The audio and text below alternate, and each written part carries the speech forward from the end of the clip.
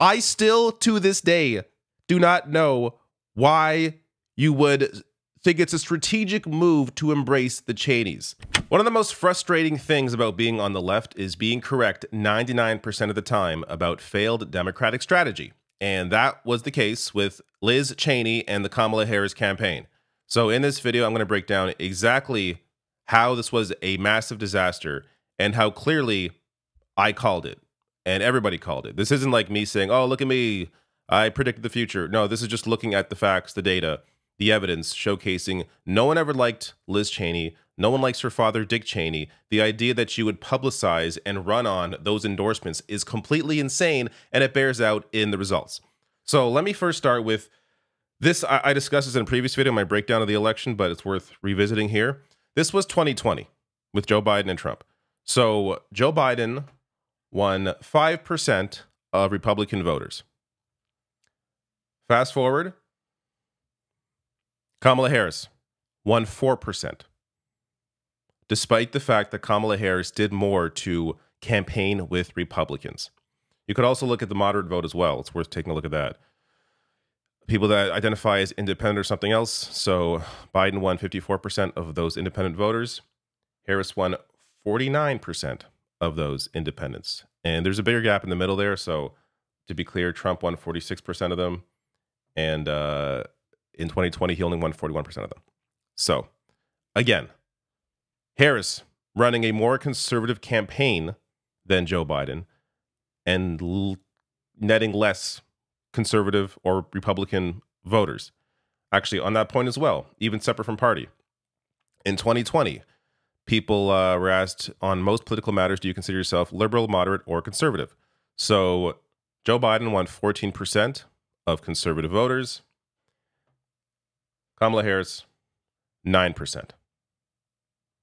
Now, I want to be clear this isn't just because of Liz Cheney. Obviously, there's a variety of issues there. But it goes to show that running to the right as a campaign strategy for the Democratic Party is always going to be a loser. Even if you win, that you you will win despite that strategy.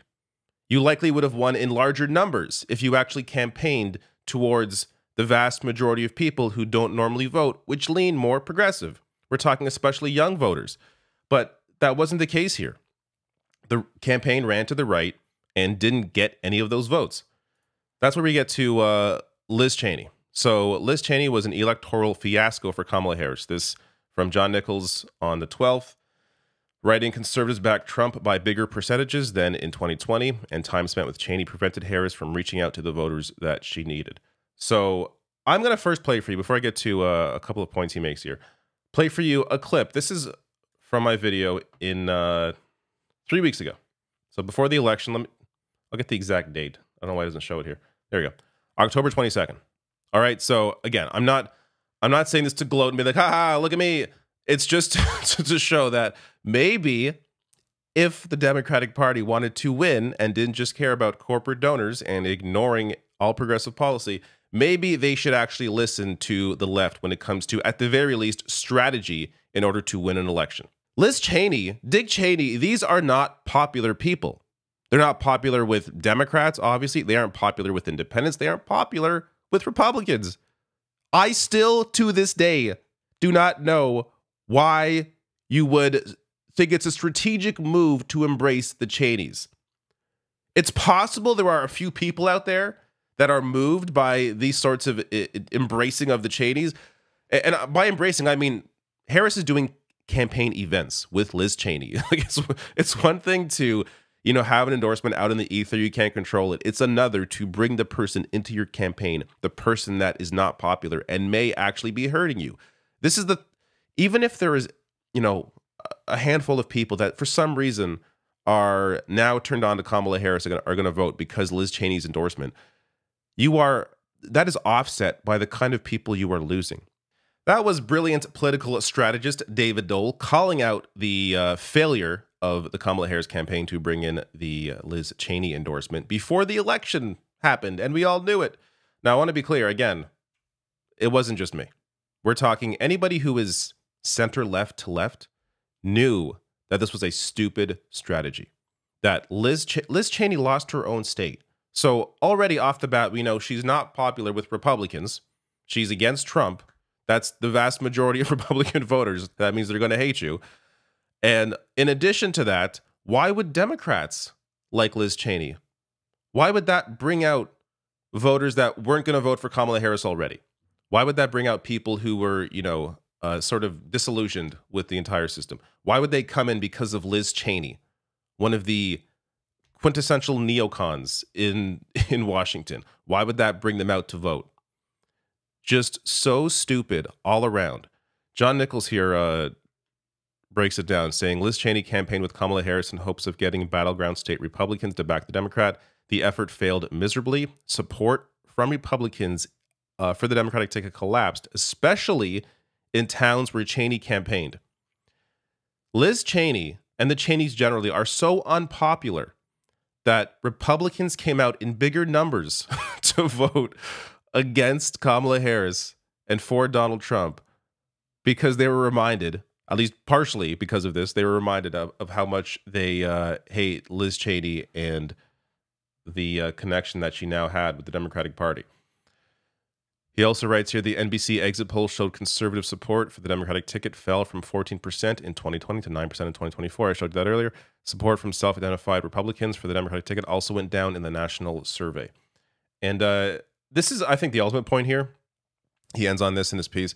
Every day was precious, and every signal sent to potential voters was significant. The days spent with Cheney and the resources expended to promote endorsements from neoconservative Republicans cost the Democrats in significant ways.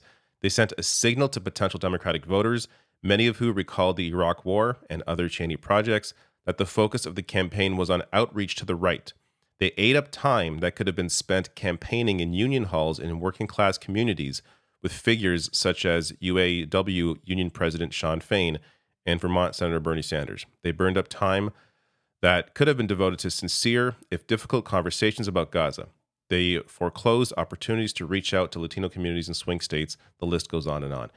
The time wasted campaigning with Liz Cheney is something that is is hard to even fathom considering how short the campaign was because again i think a lot of the blame here goes on joe biden for obvious reasons he should have never even attempted to run for a second term so there was never a proper primary process never a, a real you know proper long campaign to to fight this out but even apart from that, with that short time that she had, using so much of it in the final couple of months to try and reach out to right wing voters who were never going to vote for her. Because why would they vote for her when they have their guy? The attempt to continue doing that again and again and losing in the face of that again and again. And even after losing, look at what they're blaming now. Look at shows like Morning Joe or Bill Maher. They're blaming woke. like, go back. It, it, it, it's so disingenuous. At no point, and I don't think Kamala Harris even discussed trans rights at any point during her campaign. Never discussed uh, the issue with uh, race and policing. The campaign was largely focused on immigration. Again, trying to move to the right. They moved to the right on immigration, on uh, immigration, on on crime, on democracy for obvious reasons and on uh, abortion. And you know, she won on the issue when it comes to abortion, but you had the, here this this massive gap where there was also a major failure when it came to Joe Biden and all of these pandemic era programs ending during his presidency, which led to people thinking, "Hey, I had this help, now it's gone while Biden's president, while the Democrats are in power, I'm going to vote for the other guy." But all of this opportunity in, this, in these 100 days to actually you know, excite people out to vote, which she began to do in the first month, picking Tim Walz as the VP pick. Brilliant choice. But then they neutered him and didn't allow him to discuss why he's so popular in his state, with the one seat majority passing a, a litany of progressive policy, including uh, guaranteed breakfast and lunch for kids at school. Like these were popular issues, popular, you know, kitchen table issues that simply went undiscussed largely, or if they were discussed, and to be fair, look, Harris did try at, at points to discuss an economic message, but so much of the campaign was tied up in these sorts of right wing endorsements and this embracing or this attempt to reach out to the right right wing voter that they were never going to get. It was a complete waste of time, and it's you know, I, I hope there are lessons learned here, but it feels like such a repeat of 2016, where Clinton failed to reach out to working class voters. And who did they blame? Bernie Sanders and progressive voters, when that wasn't the problem. When in fact, Bernie voters voted for Clinton in a larger number than Clinton voters voted for Obama in 2008. But again, all that data, all that info goes out the window when all their entire focus is on is blaming the left.